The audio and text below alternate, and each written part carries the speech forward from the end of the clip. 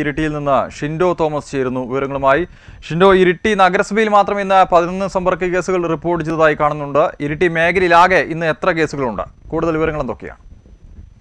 അർജുൻ ഇരിട്ടി മേഖലയിൽ കഴിഞ്ഞ രണ്ട് ദിവസങ്ങളിൽ രോഗികളുടെ എണ്ണത്തിൽ ഗണ്യമായ കുറവുണ്ടായിരുന്നെങ്കിൽ ഇന്ന് വീണ്ടും സമ്പർക്ക രോഗികളുടെ എണ്ണത്തിൽ ഗണ്യമായ വർധനവാണ് കാണിക്കുന്നത് ഇതിൽ ഏറ്റവും കൂടുതൽ സമ്പർക്ക രോഗികളുള്ളത് ഇരിട്ടി നഗരസഭയിൽ തന്നെയാണ്. ഇരിട്ടി നഗരസഭയിൽ മാത്രം പതിനൊന്ന് പേർക്ക് ഇന്ന് സമ്പർക്കത്തോടെ രോഗബാധ സ്ഥിരീകരിക്കപ്പെട്ടിട്ടുണ്ട്.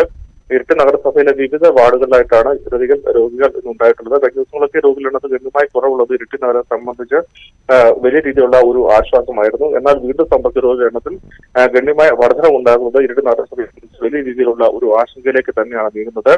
ഇന്ന് ആർല പഞ്ചായത്തിൽ രണ്ടു പേർക്കാണ് സമ്പർക്കത്തിലൂടെ രോഗബാധ ഉണ്ടായിട്ടുള്ളത്. അയ്യൂർ പഞ്ചായത്തിനും രോഗികളുടെ എണ്ണത്തിൽ വർധനമുണ്ട് ഇന്ന് മൂന്ന് പേർക്ക് സമ്പർക്കത്തിലൂടെ രോഗബാധ റിപ്പോർട്ട് ചെയ്യപ്പെട്ടിരിക്കുന്നു.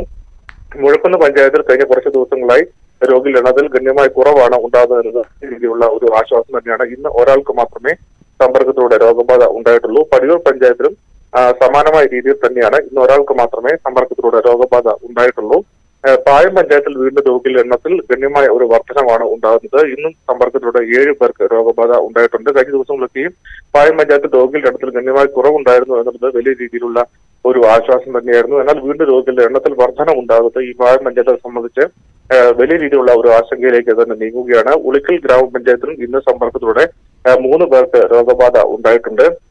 ഇരട്ടി മേഖലയിൽ മാത്രം ഇന്ന് ഇരുപത്തിയെട്ട് പേർക്കാണ് സമ്പർക്കത്തിലൂടെ രോഗബാധ ഉണ്ടായിട്ടുള്ളത്. കഴിഞ്ഞ ദിവസങ്ങളിലെത്തിയും പത്തിൽ താഴെ ആളുകൾക്ക് മാത്രമാണ് ഈ മേഖല സമ്പർക്കത്തിലൂടെ രോഗബാധ ഉണ്ടായിട്ടുണ്ട് എങ്കിൽ തന്നെ ഇന്ന് വീണ്ടും രോഗികളുടെ ഗണ്യമായ വർധനമാണ് ഉണ്ടായിട്ടുള്ളത്. ആരോഗ്യവകുപ്പ് കഴിഞ്ഞ ദിവസം തന്നെ അറിയിച്ചിരുന്നു പല മേഖലയിലും സമ്പർക്ക വ്യാപന ഭീഷണി ഇപ്പോഴും നിലനിൽക്കുന്നുണ്ട്. അതിനാൽ തന്നെ ആളുകൾ ജാഗ്രത കൈവടിയെടുത്തുന്നുള്ള ഒരു പൊതു നിർദ്ദേശം ആരോഗ്യവകുപ്പ് നൽകിയിരുന്നു. അത് ഗവനിക്കത്തക്ക രീതിയിൽ തന്നെയാണ് ഇന്ന് രോഗികളുടെ എണ്ണത്തിൽ വർധനവ് കാണിക്കുന്നതും. അതായത് ഈ സമ്പർക്ക വ്യാപന മേഖലയിൽ കൂടുതൽ പരിശോധനകൾ ഇപ്പോഴും ആരോഗ്യവകുപ്പ് തുടർന്നു വരികയാണ്. അതിനാൽ തന്നെയാണ് ഇത്രയധികം രോഗികളെ പല മേഖലയിലും കണ്ടെത്താനായിട്ട് കഴിഞ്ഞത്. അതോടൊപ്പം അത് ഇതോടൊപ്പം തന്നെ ആളുകൾ പറയുന്നത് ഈ രോഗവ്യാപനം കുറയുന്ന ഒരു പശ്ചാത്തലത്തിൽ ആളുകൾ പല മേഖലയിലും ജാഗ്രത കൈവഴിയുന്ന ഒരു സാഹചര്യമുണ്ട്. ഇതിലേക്ക് ഒരിക്കലും ആളുകൾ നീങ്ങരുത്. ഈ കോവിഡ് മാനദണ്ഡങ്ങളും പ്രോട്ടോക്കോളും എല്ലാം തന്നെ ആളുകളും അതുപോലെ തന്നെ വ്യാപാര സ്ഥാപനങ്ങളുള്ളവരും കൃത്യമായ രീതിയിൽ തന്നെ പാലിക്കണം.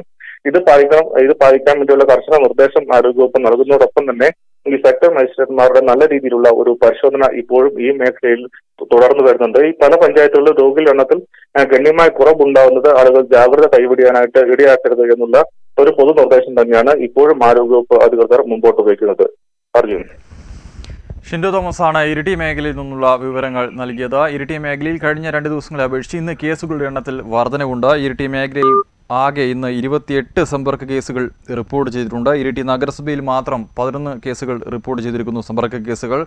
പായം ഗ്രാമപഞ്ചായത്തിൽ ഏഴ് ഉളിക്കൽ ഗ്രാമപഞ്ചായത്തിൽ മൂന്ന് എന്നിങ്ങനെയാണ് സമ്പർക്ക കേസുകൾ ഇന്ന് ഇരിട്ടി മേഖലയിൽ റിപ്പോർട്ട് ചെയ്തത്. കഴിഞ്ഞ രണ്ട് ദിവസങ്ങളിൽ കേസുകളുടെ കുറവ് മേഖലയിൽ ആശ്വാസകമായ ആശ്വാസകരമായിരുന്നു. പക്ഷേ അത് വീണ്ടും ആശങ്കയ്ക്ക് വഴിമാറുന്ന ഒരു സാഹചര്യമാണ് ഇന്ന് ഇരിട്ടി മേഖല ഉണ്ടായിരിക്കുന്നത്. ഇന്ന് കൂടുതൽ കേസുകൾ ഇരിട്ടി മേഖലയിൽ റിപ്പോർട്ട് ചെയ്യപ്പെടുന്ന ഒരു സാഹചര്യം.